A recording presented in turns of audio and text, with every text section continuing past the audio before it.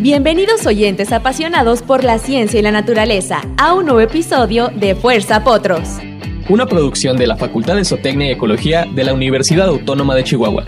Hoy nos sumergimos en el emocionante mundo de la zootecnia y la ecología, dos campos que nos conectan directamente con nuestro entorno y sus habitantes. ¿Listos para explorar descubrimientos científicos y consejos prácticos? Prepárense para un programa lleno de conocimiento y acción. Iniciamos. Fuerza Potros. Hola, ¿qué tal amigos de Radio Universidad? Soy Andrés Martínez. El día de hoy tenemos un programa muy especial aquí en Fuerza Potros. Antes que nada, saludamos a nuestros amigos de Chihuahua por el 88.1 de FM, en Cuauhtémoc por el 105.7, en Delicias 92.1 y en Hidalgo del Parral 89.1. También saludamos a nuestros amigos de redes sociales, YouTube, Instagram, Facebook, etcétera. El día de hoy tenemos un programa, como les comentaba, muy especial ya que tenemos eh, la, eh, la presencia de dos alumnos de la carrera de Ingeniería en Ecología, recién terminados casi de las, de las materias. Tenemos a eh, Armando Garza y Andrea Hernández. Buenos días, ¿cómo están? Hola, ¿qué tal? Buenos días, muy bien, gracias. Gracias por la invitación. Se siente la vibra padre de los, de los, de los chavos, digo, de los alumnos, ¿verdad? Ya platicamos, este, antes de que llegara Armando, platicaba con Andrea un poco de lo, de la carrera, ¿no? Y acor- nos acordamos de algunas cosas. Pero, este, me gustaría mucho que, que ustedes me dijeran cómo fue su primer acercamiento a la, a la carrera de Ingeniería en Ecología. Quieres empezamos con... De cómo fue que yo me enteré de la, de la... ¿Por qué escogiste Ecología, por ejemplo?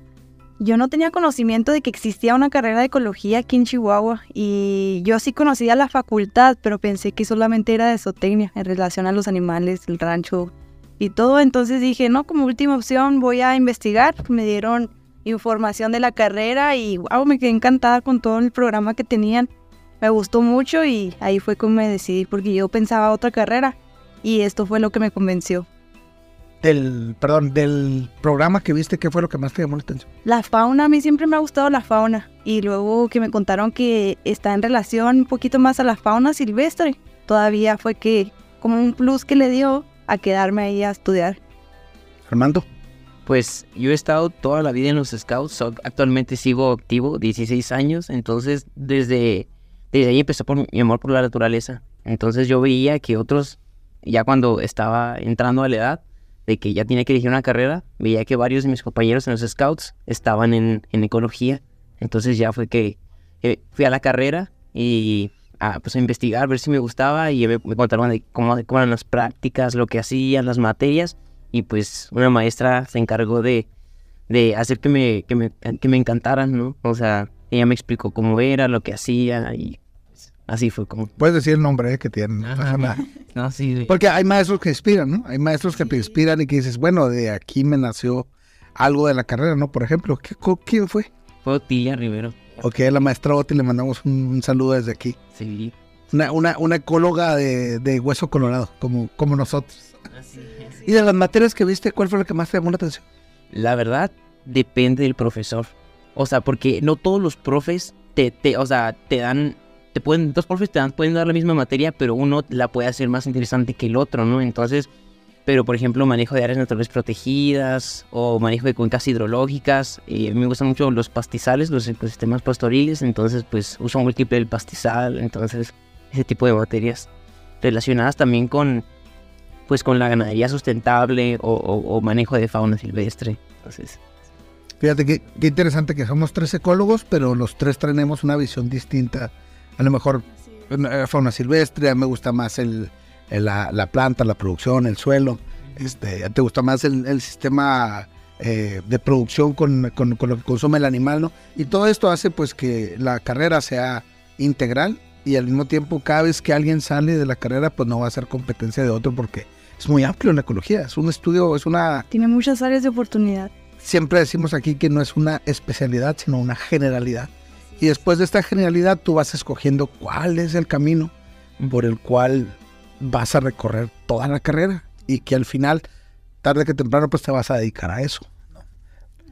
Las prácticas, ¿qué prácticas te gustaron más, Sandra? Las prácticas, híjole, es que como que cada una tuvo su, su toquecito, pero gracias a ecología yo fui que conocí la sierra. Gran parte de la sierra yo, yo conocí gracias a ecología que profes les gustaba salir a prácticas, se llevaban a sus alumnos, por ejemplo Urique Urique yo no conocía nada de Urique y es otro mundo. Hace cuenta que estamos ahí en la playa, árboles frutales y es algo distinto a la sierra, lo que es la parte alta de la sierra de Chihuahua. Es todo lo contrario y yo no sabía que existía eso.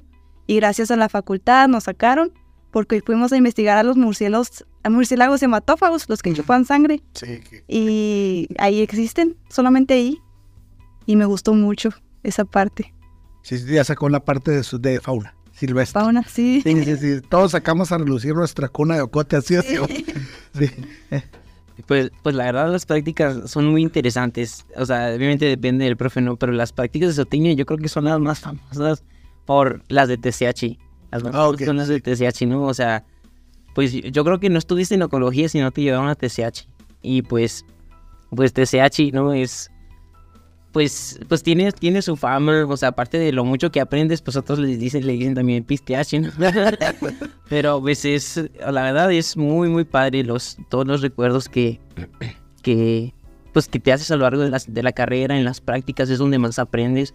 Y lo que aprendes en las prácticas es lo que más te sirve para, para cuando salgas de la carrera, ¿no? O sea, si trabajas en una consultoría ambiental, o sea, lo que te vas a acordar es lo que viviste en esa práctica, ¿no? Las platas que aprendiste, no sé, las excretas, las huellas que pudiste, que aprendiste a identificar, las aves. Entonces, creo que es un factor muy importante, ¿no? Es que, bueno, el TCH es un, es un área eh, que tiene eh, pastizal y luego tiene una zona de boscosa, entonces puedes hacer diferentes, bueno, puedes hacer muchas prácticas con diferentes tipos de ecosistema, ¿no? diferentes, de diferentes variables, etcétera. En, acá ahorita que platicabas de, de la selva baja caucifolia, que es lo que hay debajo donde vemos mango, papaya, Sí, este, sí. Eh, vemos fauna, de- aparte de los murciélagos, vemos periquitos y vemos... Una vez me dijeron, vimos una guacamaya. Bueno, a mí no me ha tocado, pero, pero este, en, en el caso de, del Moinora, nosotros fuimos a hacer un muestreo, entonces encontramos eh, frutas, eh, frutillas, este, ¿cómo se llama? El, que no es el arándano, el que tiene las bolitas, fue el nombre, este, el strawberry, el frambuesa. Ah, frambuesa. Frambuesa. Perdón, vimos frambuesa salvaje. Entonces, bien diferente la frambuesa que consumimos en, el, en alguna tienda departamental, ¿no? Y todo eso, como dicen ustedes, abona al conocimiento que no, a veces no lo da la escuela, nos lo dio en el momento que fuimos y lo practicamos, ¿no? ¿Qué, qué este, si no hubieran estudiado ecología, ¿a ustedes ven otro, otra carrera que no sea ecología en, en su, en su vida? O, o- perdón, o, o les gustaría profesionalizar esa parte que, que llevaron en ecología, hacer algo futuro con eso. Sí, a sí me gustaría, por ejemplo, yo, como yo ya no estoy haciendo materias ahí en la facultad, yo tuve que realizar prácticas profesionales y las hice justamente en Profauna. Y a mí me gustó como el área de oportunidad que tiene Profauna porque es a, a cuanto mis intereses, mis gustos. Y sí, me gustó bastante y sí me veo en un futuro realizando algo en relación a mi carrera. Sí me gustaría, eso es como mi objetivo. Trabajar un rato, que, pero haciendo algo que me guste. No sé si me explique. No, no, claro, pues dice eh, trabajar y que te paguen por lo que te gusta nuestro trabajo. Exacto. Sí, Sentir lo que te gusta. Armando. Pues, pues a mí me, bueno, yo cuando, eh, cuando empecé a decidir qué quiero hacer de mi tesis, pues ahí fue cuando me empecé a descubrir todo el mundo de las aves, ¿no? Entonces me, me involucré con una investigadora de ahí de, de la facultad y pues que pues, ella es experta en aves. Entonces de ahí empezó mi amor por las aves, por él, por, por su estudio, ¿no? Entonces, pues mi interés es hacer la maestría o, o trabajar en, en un proyecto de conservación de aves, ¿no? Entonces ¿De tu tesis con qué está relacionado? es, es diversidad de aves del rancho TCH. Ok, como que un inventario, algo así. Sí, pues es, es un poco más, más que un inventario. Aparte, eh, de hecho, hacer el inventario es uno de los objetivos, ¿no? Pero en sí es sacar la diversidad y abundancia de aves del rancho TCH, ¿no? Entonces, pues, TCH tiene muchos ecosistemas, o sea, pastizal, bosque de encino, bosque de pino, matorral, ¿no? Entonces, eh, y las zonas de transición de cada uno. Entonces, hay una diversidad increíble que no se sabe, ¿no? Y ahorita TCH es de los ranchos más grandes que quedan en Chihuahua. Sí, son como 14 mil hectáreas por ahí. eh, Sí, su anda. Sí, sí, sí. Bueno, pero estas aves varían dependiendo de la, de la estación. Sí, sí, sí. En, por ejemplo, pues en invierno están las aves que, que migratorias de invierno, que son las que vienen del sur de Canadá, norte de Estados Unidos, a pasar el invierno aquí al norte de México y sur de Estados Unidos, ¿no?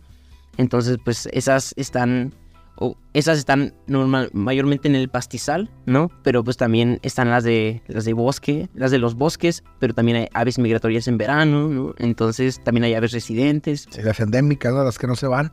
Así es. ¿Con quién estás trabajando? Con mi guía titular. Ok, muy bien. Entonces, pues sí, ahí estoy. Todo. Bueno, ya, ya estoy por terminar. ¿Y a ti no tienen ganas de hacer tesis? Con fauna, por ejemplo. Fíjate fauna que sí iba a hacer, sí iba a hacer tesis, pero bien se sabe que haciendo una tesis y más ahí en la facultad de zootecnia se necesita un poco más de prácticas, de tiempo. Sí, se tiempo, me juntó el tiempo, ahorita ya estoy por salir, entonces estoy buscando otras opciones. Existe una opción de material didáctico que es un poco más corto que la tesis, también la estoy considerando. Pero fíjate, estás siendo muy, muy este, humilde, ¿eh? porque eh, por ahí me enteré. Un, un ave me dijo, ¿no? Que te puedes titular por promedio tú. Sí, también es como una manera más automática, más rápida. O sea, quiere decir que eres muy buen estudiante y no nos quiere presumir. Sí le eché bastante ganas a la carrera. Sí, Realmente es difícil la carrera. Es que a mí no, no se me hizo difícil por lo mismo de que me gustó. Desde las primeras materias que yo agarré me gustó. Y ahorita con lo que estábamos hablando quería, quería platicarte de que eso es lo que me gusta de la carrera, que empiezas con una idea. Por ejemplo, yo empecé con fauna, pero gracias a los profesores que los vas conociendo, me acuerdo mucho en el caso de Armando, que Armando al inicio le gustaban los arácnidos, las arañas o los hongos. Y él estaba bien decidido a hacer tesis de hongos, pero ya que conoció a la profesora, ya como que se enamoró de las aves y de ahí ya no lo soltó. Ahorita está fascinado con las aves. Y es algo que tú te puedes dar cuenta, eh, no sé, haciendo conexión con los profes, dándote cuenta cómo trabajan, porque también eso es importante. Y ahí es donde tú decides en qué enfocarte. No, Y por ejemplo, el tema ahorita que platicar Armando de las aves, están las migratorias, están las endémicas, Sí. están las que vienen en una época, las que vienen en otra, y las aves. O sea, si vemos un libro nada más de aves, es una cosa eh, grande, no es una Biblia de aves. Sí. Y ay, se parece, no, no se parece. Por ejemplo, aquí en dirección académica, aquí en Chihuahua, este, llegan robin americanos por esta época. Y ahí están comiendo en el, en un, en un este, en unos jardines que están aquí. Entonces es muy, muy bonito verlos en parejas con la cabecita rojita y no, no es un cardenal, es un robin rojo. Empiezan ahí a, a platicar algunos porque han venido aquí maestros de ecología. y, No, es un robin americano. Ah, bueno. Ya lo noto yo que es un robin americano porque lo mío no son las aves, pero también me gusta. Dios mío, se me hace muy complicado eso de aprenderte los nombres científicos. Pero eso es lo bonito también de la ecología, que no podemos ser todólogos, pero podemos este, tener al compañero, al, al, al colaborador, al, al, al amigo que, oye, tú te gustan las aves, vete conmigo, vamos a una zona donde vamos a, a tal vez saber algo del, del, de los cultivos del bosque, pero también a veces hay que dar, eh, hay que resolver soluciones acerca de la ecología del lugar. Y a veces nosotros más volteamos y, ah, vimos un ave, pero a veces es muy importante esa ave que es un indicador ecológico. O a veces un, un, un- un insecto, un arácnido, un miriápodo, un, todos los artrópodos ¿no? también son indicadores de algo. O una planta que salió diferente a las demás es un indicador de algo. Entonces, por eso tenemos que hacer prácticas multidisciplinarias, o sea, que vaya de, de- que seamos de la misma carrera a lo mejor, pero que tengamos diferentes intereses o imitar de otras carreras, porque tarde que temprano todos tenemos que, eh, que estar en la misma sintonía para la solución de los problemas ambientales que son muchos. El más grave que tenemos ahorita es la sequía, ¿no? Y ahorita que ustedes platican, no, pues el bosque. El bosque es un captador de, de agua. De agua. ¿Y cómo la cosechamos? ¿Qué hacemos con él? Sí. Y a veces los animales son indicadores de la lluvia, las plantas. Oh, Eh, digo, que ver. ¿qué, qué les voy a decir yo a ustedes? Sí, también soy ecólogo y a mí me pasó exactamente lo mismo que ustedes. Y a pesar de que ya salí hace muchos años, sigo con esa misma eh, convicción de que la ecología es la carrera del futuro, del presente y la del pasado, si no volvemos a cometer los mismos errores. ¿no? No, en en tu caso, Armando, que andas con los Boy Scouts, también se me hace muy interesante que tú le puedas transmitir ese conocimiento a los niños, a los jóvenes, a los que son más jóvenes que tú, ¿no? Y no necesariamente que sean ecólogos, pero sí un conocimiento que es muy necesario en ese tipo de disciplinas. Sí, pues, de hecho, en el, en el grupo 2, pues hay como, hay como un grupo, ¿no? Que es de vida al aire libre. Entonces, cuando hacen, cuando a veces hacen campamentos, ¿no? Me invitan y, y llevo varios binoculares, salimos en la mañana a caminar y les platico, ¿no? A los niños de que, qué ave es esta, qué excreta es esta, ve esta huella, ¿no? qué planta es esta y para qué la usaban, no sé, para qué la llegaron a usar los, los ¿no? O sea, o pues sí, ¿no? Explicarles, eh, hacerle, hacerles que les guste la, la naturaleza un poco más, mucho más que el hecho de no solo ir a acampar y ya, ¿no? Entonces, pues sí, es, eso es lo que, lo que he querido inculcarles. Sí, no, tiene que estar en armonía con su entorno, ¿no? Lo que no hemos logrado. Así es. No lo hemos logrado como sociedad. Es bastante difícil, Muy difícil. pero no imposible. Podemos colaborar, ¿no? Con nuestro granito de arena. Y muchos eh, jóvenes ahorita que están en preparatoria, en bachillerato, que nos escuchan en Delicias, Parral, Cuauhtémoc y aquí en Chihuahua, pues eh, hay que decirles que acá hay una carrera muy, muy interesante que tiene que ver con los recursos naturales, tiene que ver con la ecología urbana, o sea, que tiene que ver con el derecho ambiental, el derecho mundial a, a la, a la- a la ecología también, y que, que se acerquen a la facultad, igual y, y a preguntar, así como Armando, igual le preguntó a la maestra Oti, mira, Oti, que es una, es una eh, catedrática y amante de la ecología, lo convenció bien rápido. Tal vez no, no, no fue tanto porque atraías la, el gusanito, ¿no? A lo mejor hay alguien que está pensando ahí, "Ah, ¿qué estudiaré? ¿Qué estudiaré? ¿Qué le dirían ustedes ahí? De, de hecho, yo creo que lo padre de la carrera de ecología es que, o sea, se abre a muchas ramas, ¿no? Entonces, incluso si sabes que te gusta el campo, estar en la naturaleza, o sea, no hay falla en irte a ecología, porque se abre a un chorro de ramas, ¿no? O sea, geomorfología, ¿no? Educación ambiental, eh, pues la relación entre el ambiente con lo social, ¿no? Es derecho ambiental, manejo de fauna, áreas naturales protegidas, o sea, es un... Ahora sí que es como que para alguien que le gusta la naturaleza y, y no sabe en qué irse, ¿no? Entonces, así en la carrera tú puedes decidir, ¿no? Ok, ah, me está gustando más el derecho ambiental. Y ya no sé, puedes hacer la maestría por ese lado, terminando la carrera. O sea, creo que está muy padre. Creo que no, no, no le erras al irte en ecología si te gusta la naturaleza, ¿no? O, o incluso si no te gusta, puedes irte por lo, por el área industrial, ¿no? O sea, y aún así, ¿no? O sea, es. Incluso si no te gusta la naturaleza, no, no le erras tampoco. Es, es muy amplio y está muy Está padre. demasiado amplio. La ecología urbana, o sea, el crecimiento poblacional, alguien lo tiene que diseñar, alguien lo tiene que administrar, ¿no? O sea, los que andamos en las partes naturales nos olvidamos de la parte urbana y ahí en la Facultad de Ecología está esa parte también. Y te da la opción de especializarte en lo que tú quieras y también trabajar en relación a ello. Ahorita yo sí veo mucha área de oportunidad laboral porque justamente con lo que comentabas ahorita es el futuro y ahorita se está viendo mucho, imagínate en un futuro más. No, pues eh, platicamos, ahorita que estabas platicando las materias, ah, me acordé de algunas, Sí. suponiendo, este, donde se ve lo de la manifestación de impacto ambiental. Toda empresa lo tiene que hacer. Sí. tiene que, o sea, vas a ir a, a- a desmontar una zona, cómo la vas a, a remediar, qué soluciones de ecológicas vas a hacer, cambios de suelo. O sea, sí, eh, sí, te- sí tenemos una amplia gama de, de especialidades.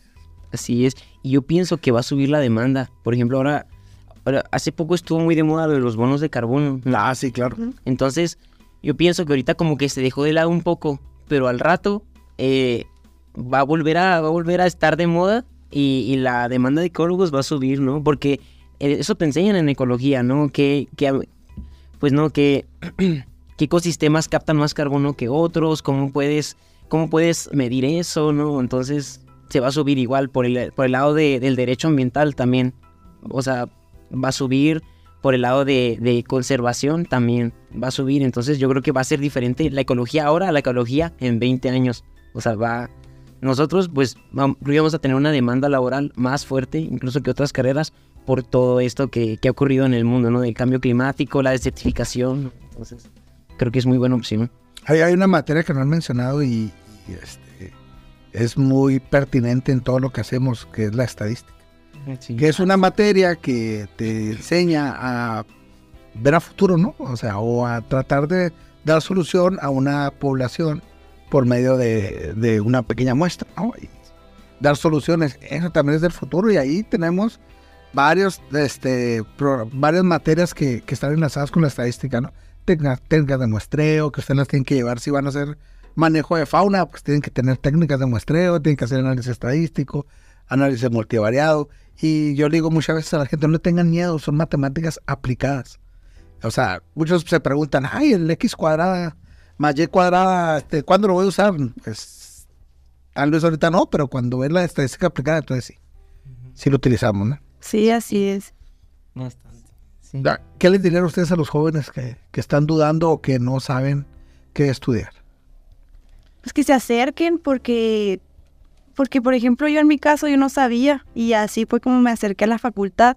Yo iba pues, con el plan también de zootecnia porque pensé que nada más era zootecnia ahí y ya me dijeron que había ecología, me empezaron a explicar y así es como te acercas tú a los profesores de, de que están en relación a eso y es como te explican dónde hay o te pueden guiar a alguna otra carrera también.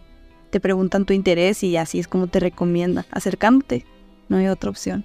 ¿Te acuerdas el primer semestre? ¿Qué materias llevaste y qué, y qué materias te dijeron? Sí, sí es aquí, sí es aquí mi lugar. Mm, pues obvio, en, en los primeros semestres también te dan de que matemáticas, lo que viste en el bachi, Tronco común. el tronco Sí. común, ¿Y ecología básica? ecología básica, con Otilia, ecológica. justamente con Otilia fue lo que me dijo, no, de aquí soy. Y fue Sí. como me fui adentrando ahí a ecología. Y lo llevaron química, Así. También, química inorgánica, química orgánica. física. Todo aplicado, todo aplicado. Es lo que a veces a mí cuando me preguntan, no, es que está aplicado. Ya va aplicado a, la- a lo ambiental. O sea, no está, no está general, porque si está general, entonces no, no podemos aplicarlo después en nuestro, en nuestro quehacer a futuro. Armando, ¿qué le dirías a los jóvenes, a los chavos? Pues yo les diría que, ok, pues hagan una lista de lo que les interesa, ¿no? Ok, si en una de esas está ecología o la carrera de ingeniería sostenible en sistemas de producción, pues vayan a la facultad, ¿no? O si, les gusta derecho, vayan, ¿no? No hay mejor manera de involucrarte para saber si te gusta, ¿no? O sea, no te metas a ecología sin haber ido antes a la facultad, ¿no? Eso se me hace muy padre de ecología, ¿no? De la facultad de zootecnia en general. Que como que como está un poco más aislada de las otras facultades, siento que, que hay como una hermandad, ¿no? Hay como... Una no sé, comunidad. Todos conocemos. todos. Sí, es Sí. un ranchito, un pueblito ahí. sí. Todos nos saludan. Y no por las unidades, ¿verdad? No por las unidades animales, No, que no. ya hay una vaca, que ya hay un borrego, que un avestruz. También. Sí, pero hace que te guste mucho estar ahí, ¿no? O sea, hace poco querían cambiar la facultad acá a donde está medicina. Y todos de que no, no, no, porque le va a quitar su esencia a zootecnia. O sea, y, y te ha puesto cualquier alumno y estaba en contra de esa decisión, ¿no? Porque, le- pues sí, ¿no? O sea, ecología y, y zootecnia, o sea, es famosa por sus, los rodeos también y de ahí eso también le da mucha, le da mucha fama a la ecología, pero pienso que fama para bien porque pues cuando estás en la universidad también quieres divertirte, quieres pasártela padre. Socializar Sí. en otras personas.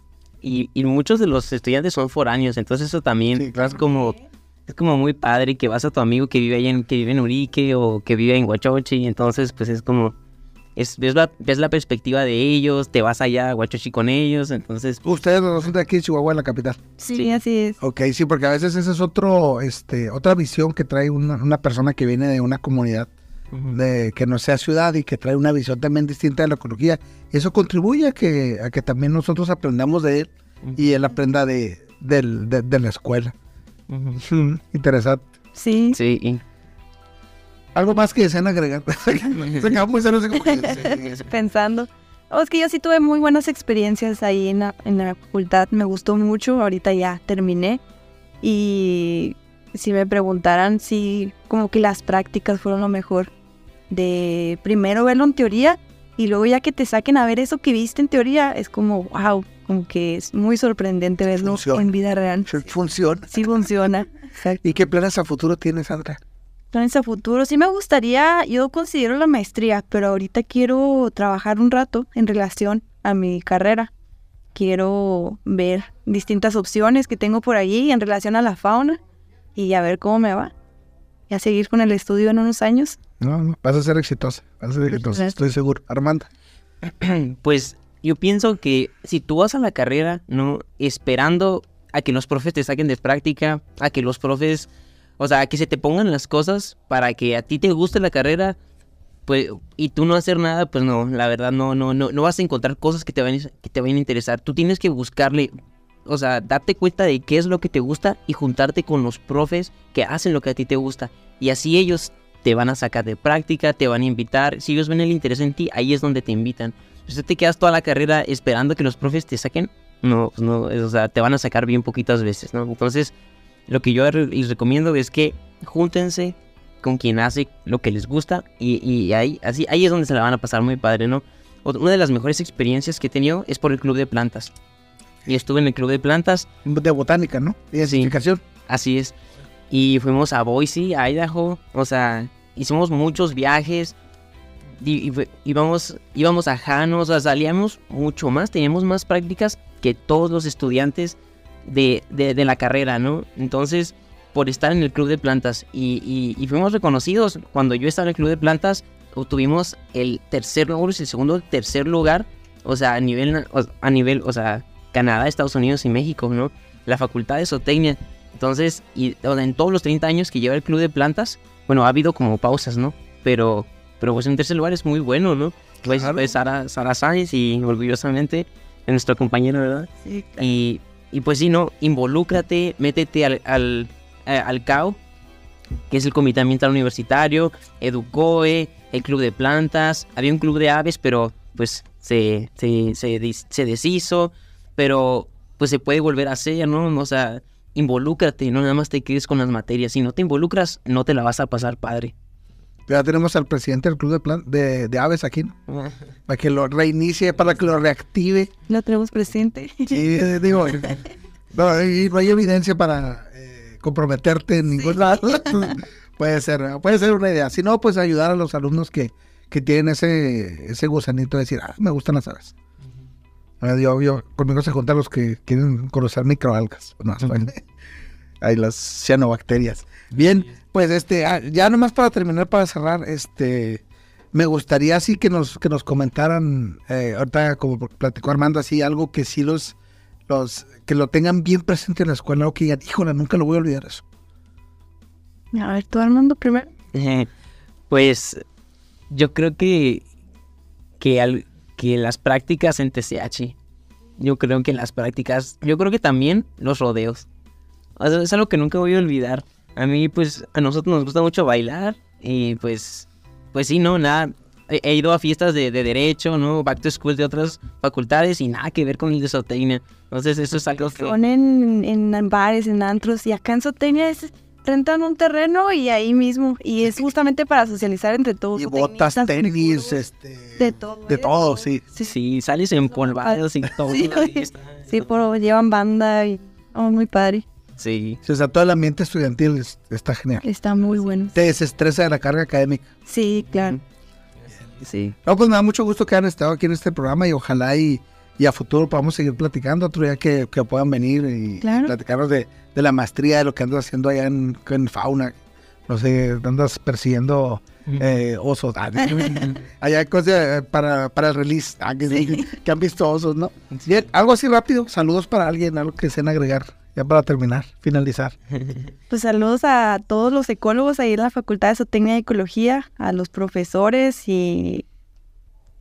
pues sí, a, a todos. A ver, o sea, ¿qué profes? No, todos, ah, no, no, todos son muy buenos, tenemos una... Son muy buenos. son muy buenos, este, mucho, hay muchos profesionales ahí que a veces no les sacamos el jugo realmente para que, para nuestro conocimiento, ¿no? También a, a veces porque no sabemos cómo llegarle al maestro. O sea, cómo preguntarle o cómo hacer que nos invite a lo que él hace. Yo quiero hacer lo que usted hace. ¿no? Sí. Exactamente, Armando. Así, pues saludos a pues a Sergio Ruébano, a Miki titular, a Tilia Rivero, ¿no? A, a la maestra Leonor Cortés, queridísima, Montserrat, ¿no? Todos, todos esos profes que, que me ayudaron mucho a mí a forjarme como soy ahorita y que les debo mucho. Eso. Sí. Bien.